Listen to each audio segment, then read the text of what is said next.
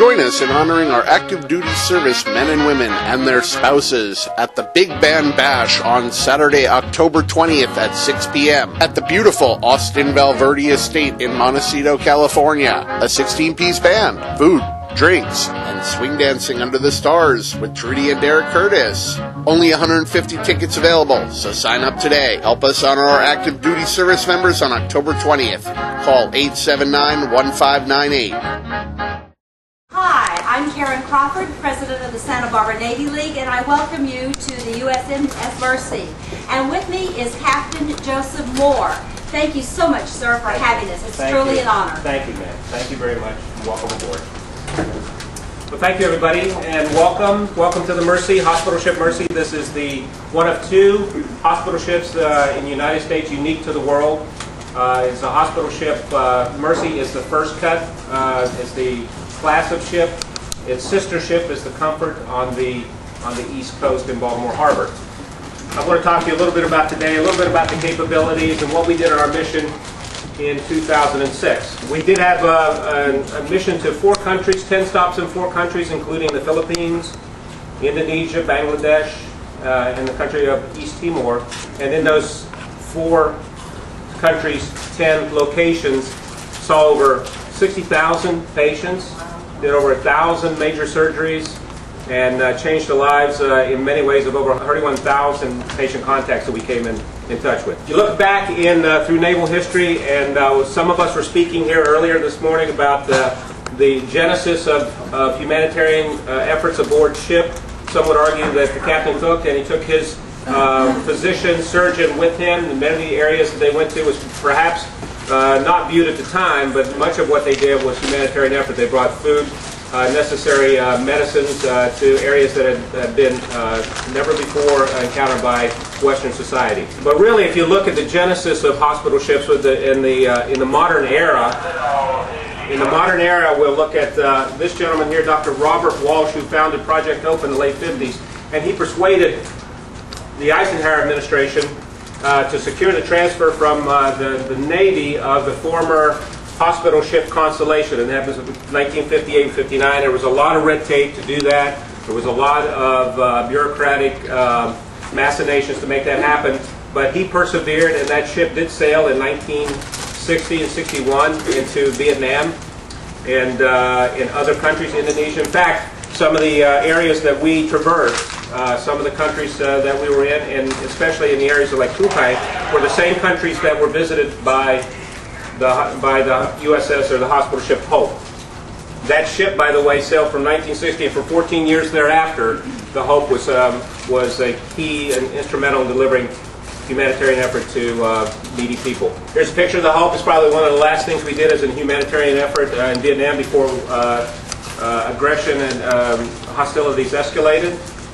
Interestingly, in July now, as a result of what we're trying to learn with humanitarian missions, the Peleliu, which is a large deck amphib, the Peleliu will be visiting Vietnam, will be in this very same harbor in mid-July of this year, and we, uh, we hope to repeat that visit in, at the next Mercy deployment. Well, what do you know about the hospital ship? You've all come aboard. Uh, we came through the quarterdeck. You saw some of the uh, uh, enormity of it as you walk down the pier, but uh, it is really a modern uh, marvel and something to behold.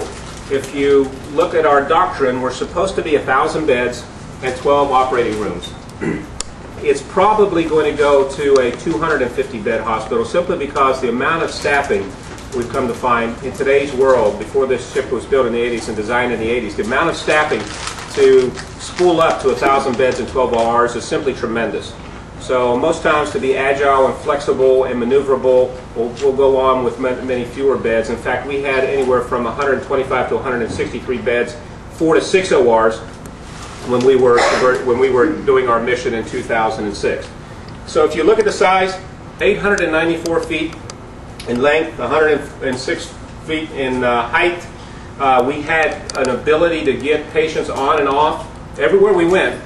The ship did not pull in to a harbor. The ship stayed at sea, and we brought patients to the to the ship itself via utility boats or via a helicopter. So those were the means of egress and and uh, boarding the ship itself. It is a fully functional, what we call level three hospital ship, and so everything you need to do surgery, everything you need to do ICU, things that you need to handle burn patients, the laboratories that you need, the pathologist that does the specimens and looks at a tumor and tells you whether it's malignant or benign, the imaging studies that we did, for instance, 25,000 imaging studies uh, in terms of CT scans and plain films were performed during our mission.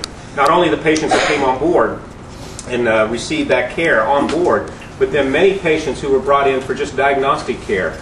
We, we did laboratory values on, we did laboratory blood studies on them, we did uh, uh, imaging studies on them, and handed that back in some form to the host nation doctors. And they were able to take that information and treat the patients on land long after we left. So those capabilities, the ability to have a, a large blood banking capa uh, capability on board. Remember that our primary mission is not humanitarian assistance, but it's still combat trauma. So we're still outfitted and designed for that. And so we have a robust uh, blood bank on board and ability to thaw frozen, fresh frozen, uh, excuse me, uh, blood, whole blood. We're able to thaw that and, and bring it uh, into use in a very short order if necessary.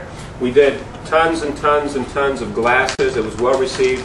People had eye exams and we had uh, dental exams, but the, and resulting in uh, curative or uh, palliative care for the for the patients we saw. But glasses, eyeglasses, and dental were one of the longest lines that anybody could see everywhere we went. Um, our medical people on board, our biomedical technicians, and our people that are able to do things like produce oxygen. Uh, there's an oxygen generating uh, capability on the ship. And think about how expensive it is to generate oxygen. We filled up many, many uh, those large oxygen bottles that hospitals utilize in those poor nations, the poor areas that we, where we attended, and that was a tremendous savings to the people who we served. Well, this was our mission statement. It was written by line commanders, written by our line community, and it doesn't sound like any line mission that you've heard before. Is that we provide this medical and humanitarian assistance to populations in the Pacific and the uh, oceanic regions, and we'll do it in a cooperative manner, we'll do it with compassion, and we'll do it with commitment to serve and come back later can't get anywhere without telling a story about the 40 pound tumor that we took out of a lady, and it's always at lunchtime. so, uh, if you'll bear with me, this, this young lady is the name of it. Her name was Rose, and it was in Kupang that I talked about. Uh, and she came aboard and she had this tumor. She thought she was pregnant. She had two children. This tumor went on for two and two and a half and three years. So it grew. It's a uterine tumor, for those of us uh, in the know, and it was a benign tumor, but it wasn't benign to this point where she couldn't lay down. She couldn't lay down because if she laid down, it would press on her vena cava and it cut off the blood to her heart. And she couldn't swallow anything but liquids at this point because uh, it pressed against her esophagus. So Rose came to us at 110 pounds and left at 67 pounds after we took this, this 40 pound tumor out of her.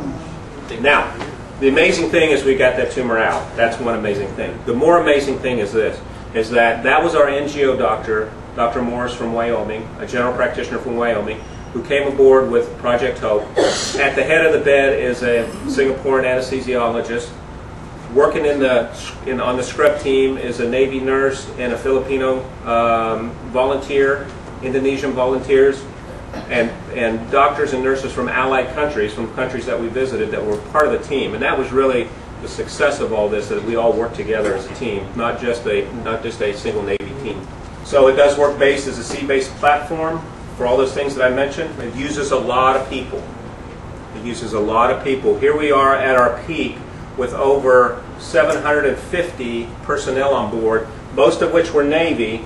I mentioned down below the civilian mariners, about 60 excuse me, 78 total civilian mariners to run the propulsion, to run the engine room, the skin of the ship, the, the ship, the deck department, together and work with us. They ran the utility boats back and forth. And they were as quick to help uh, a grandmother onto the ship and off the ship as a corpsman. They became an integral part, carrying babies and, and carrying food supplies in. They were an integral part in our brothers in this whole operation. You'll see a small joint piece here with Air Force and uh, Air Force Army and the Public Health Service that I mentioned, and a large breakdown contingent. Uh, the hospital itself, the things like the communications piece and the security piece. We had a security detail aboard. The helo deck that took 31 people. The band which we bought. With the band and medicine, medicine and music are two things that cross the cultural cultural barriers. And the band was accepted and, and delighted people everywhere we went. and then things like administration and, and, and the rest. So tremendous numbers of people. How do we do it? Not only Navy, but these governmental organizations, the Aloha Medical Mission, the International Organization for Migration, Red Cross, Project Hope was big, Save the Children was big, and then military medical staff, various times the Indians probably were the longest lasting, that is they went with us the whole way, but various places along the way. We had Aus uh, Australians and Bangladeshis, Canadians and Indians and the Indonesians and the Malaysians and the Philippines, people from the Philippines and people from Singapore working in concert with us. They doctors work with doctors, nurses with nurses, and we did the work of the day. And it was a tremendous, tremendous built in with these volunteers. We were speaking about how to get volunteers into an organization. We're very military minded, obviously, but you have volunteers that don't have a military mindset. And you're faced with that sometimes, or an organizational mindset like we've got. So we had to be very careful to make sure their needs were met. We formed a liaison team, and they met daily. And what were the problems? Email, email connectivity, uh, the ability to get out to shore, you know, to be one of the team out there. Uh, how long do I work down in, in the wars? The, the ability to do all of those things became a tremendous sort of uh, learning curve for us. And also just the attitude is that many of these organizations aren't necessarily uh, have an affinity for the military. And we had to sometimes conf confront people that said, why would you wear a uniform? And you're a great doctor, I found. You're a, you're a general surgeon. You could be doing great on the outside. You could be, we, had to, we had to step back and say, well, help me understand why wearing this uniform is an impediment to us working together. So a lot, a lot of learning about self and learning about each other, and I think it went forward in a positive way. So there are challenges. You know, the medical, I think that one of the biggest challenges is the human resourcing on this. This is a, bill as a thousand bed hospital ship, and we really have to start thinking about this going down to a smaller ship with other facilities available. Uh, and the ability to pre-credential credential doctors and volunteers on here before. That's what the next step will be. And Jim and I will be working tightly with that. So, to the Navy League, to you, uh, a challenge. First of all, thank you again for coming. Thank you for your interest and thank you for being here. But as you go home on the bus and as you're here to have this take the time this weekend to think about the Mercy and all that's possible, what is it that you as an individual have to contribute? What do you figure your role is in disaster? Are we really thinking about disaster medicine or planning for that on a family basis or a individual basis or a community basis? And what does the Navy League have to bring to this, to the future humanitarian mission? Are there any other ships with, uh, first of all, with this size of complexity? The short answer is no. I was just at a, a meeting, uh, uh, we were tied into the NATO response force in, in some manner, uh, and I was in Poland to, to talk about this, and the closest probably is the Norwegians have a cruise line that's, that's been outfitted to uh, reconfigured to a hospital ship much, much smaller than this. The French have a certain design, much smaller than this.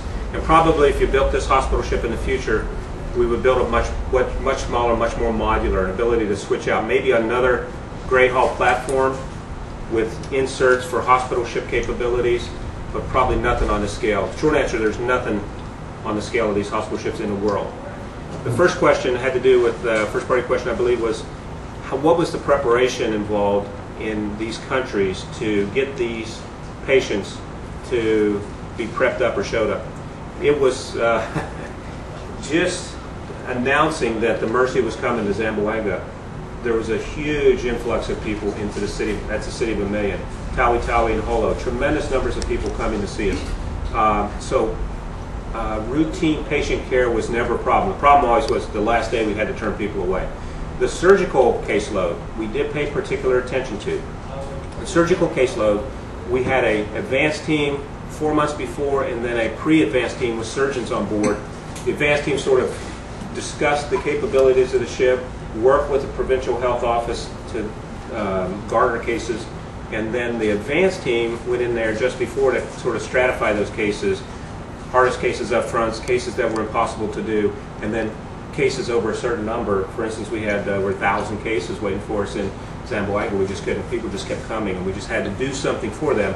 It just wasn't surgery. So there was a preparation, and then uh, and then a handoff at the end too. Yes. Is your response to disasters uh, just abroad, or would you do something domestically? That it would be somebody other than my call, somebody at a higher authority, and for instance, Katrina, which was domestic, the Comfort was called out from Baltimore Harbor. Okay. That decision was made at a national level.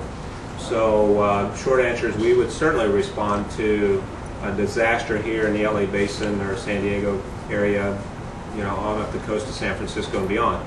Uh, but that takes a lot of discussion between the governor, how the governor relates, what, what he calls for, and then there's a military liaison that works with the governor and the gov- and the board of governors uh, to make those happen. If you got a call tomorrow and had to deploy, how long would it take you to get to gather your troops? The question is, if we had to deploy, got called today or tomorrow and had to deploy, we are required by doctrine to be up and running by five days.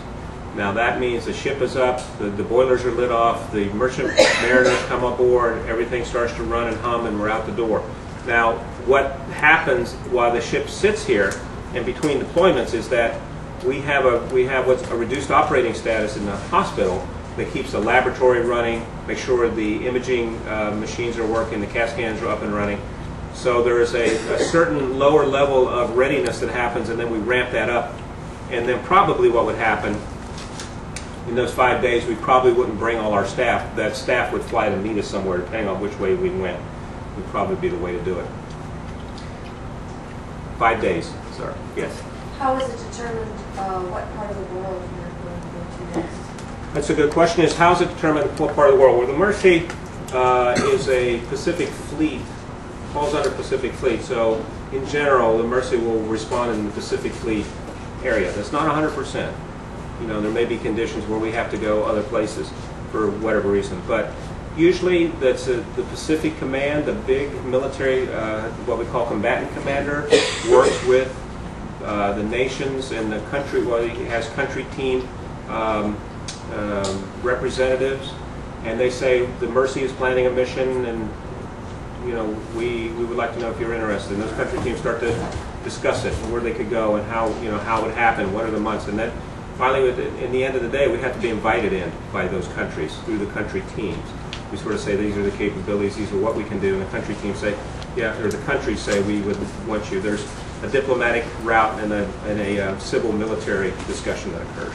And then how often are you deployed into a mission like that? Well, that's that's this was our first one, and we hope uh, in 2000. And Comfort is going now. Peleliu is already out there. Comfort is going uh, in a week, three days, uh, and we're out there.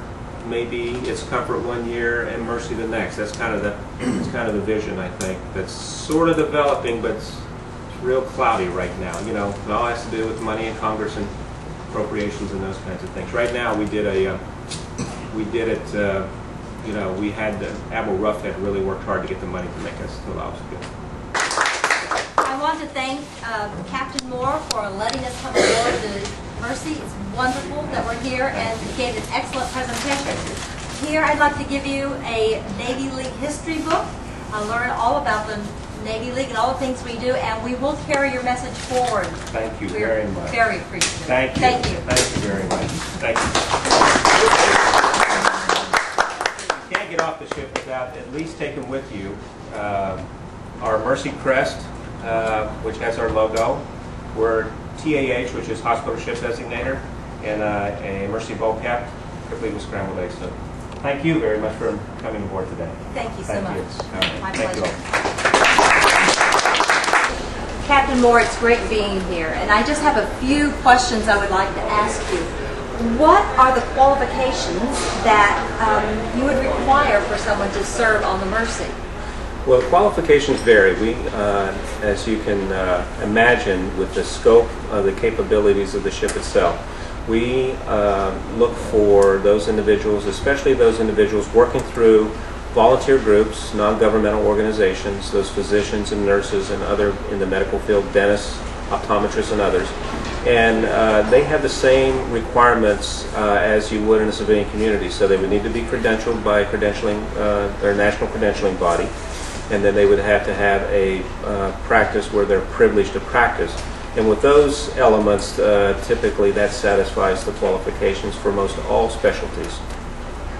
And what about who runs the ship? How does it go? Who runs? That's a great question uh, because it uh, it is a team effort, number one. And if you look at uh, the ship from the command point of view, there are two major divisions. The first is the hospital portion. Right. So imagine a hospital uh, set down in the in the in the body of the ship. Uh, running like any hospital anywhere. So you have to have a hospital commander, and that was my job, still is my job, uh, for a few more uh, days. And the uh, that hospital commander is sort of your CEO of the hospital or, or uh, the, the main um, head physician. All the credentialing, all the, the work that happens comes under my authority. So the, the, the hospital runs like a hospital community with an executive staff and all the ancillary staffs and the departments that any hospital would have and it runs very efficiently, and we understand that. The part then that's different is being on the ship itself, you have the merchant marines or the civilian mariners that actually come aboard and um, provide for the propulsion, the engineering, the deck capabilities, the the the, um, uh, the ability to get us from point A to point B on the ocean. And that's another captain uh, who's usually uh, a graduate of the Maritime Academy. So the two captains kind of keep the command uh, of each side of the ship uh, in, in check. And then on more in operations, over all of us, there's typically a, a commodore, another captain with a, a rank above us that hooks us up to the line committee. Thank you, that's Thank you. interesting. What capability that would the medical community be interested in that is aboard this ship? I think anybody who is interested in doing humanitarian efforts, uh, humanitarian care, would find a niche on this ship. Anywhere from primary care, family physicians and internists and pediatricians, uh, to dentists, to people in the uh, cert- in the internal medicine subspecialties, dermatology, uh, ICU medicine, hospital medicine. Uh, we had a great need for that. Uh, surgeons, general surgeons, ophthalmologists, uh, orthopedic surgeons, the whole gambit, uh, we have that ability. But then, the, what would interest them is the full scope of practice when we're up and running, is that you have the support team, the radiology department, the imaging studies that we're able to do, the uh, blood work that we're able to provide, the pathologist to read the slides and tell you whether a tumor, tumor is malignant or benign. All of those capabilities aboard the ship, and to be able to take those uh, capabilities and take them to some remote place on the other side of the world, anyone who enjoys humanitarian efforts would just be excited to come aboard the Mercy. That's great. When you think of your tour of duty as CEO of the Mercy, what event or events come to mind as most memorable? Well, the, uh, and thinking as my tour comes to an end, and it's been a tremendous, tremendous tour. Uh, number one is certainly the crew that I've worked with, the endless energy that they provided, the impetus that when we were in a place like Bangladesh that they really didn't want to leave, if they could just stay uh, a few more days. But you know, the mission has to move forward. And I can just picture in my mind the various patients uh, that we helped. The little girl with a cleft lip, who was an absolutely gorgeous person, who was ostracized one day and accepted into the community the next. Uh, and patients that came to us on death's door, literally on death's door, that we were able to save. Uh, and one OB patient comes to mind that had an uh, adverse outcome and almost bled to death, but we, we brought her back together. Uh, and to see her and to see her husband sit at the foot of her bed for four days while she recovered, uh, that was absolutely a timeless memory. Sir, thank you so much for having us. It's truly an honor, and thank you for your leadership. Thank you so much. and good you. luck to you in Hawaii. Thank you very much. Thank you.